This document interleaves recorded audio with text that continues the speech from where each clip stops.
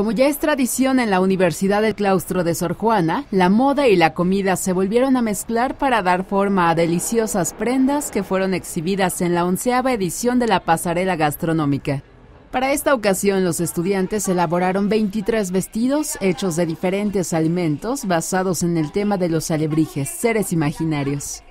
Al respecto, el director del Colegio de Gastronomía del Claustro de Sor Juana, Miguel Ángel Mesa, Comentó que este desfile es parte importante de las actividades de la escuela y en ediciones pasadas se pudieron observar trajes realizados con hojas de maíz que simulaban plumas.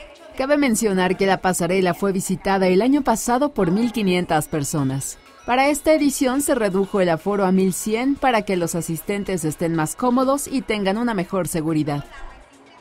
Con información de Luis Galindo e imágenes de Eric Gómez. Notimex.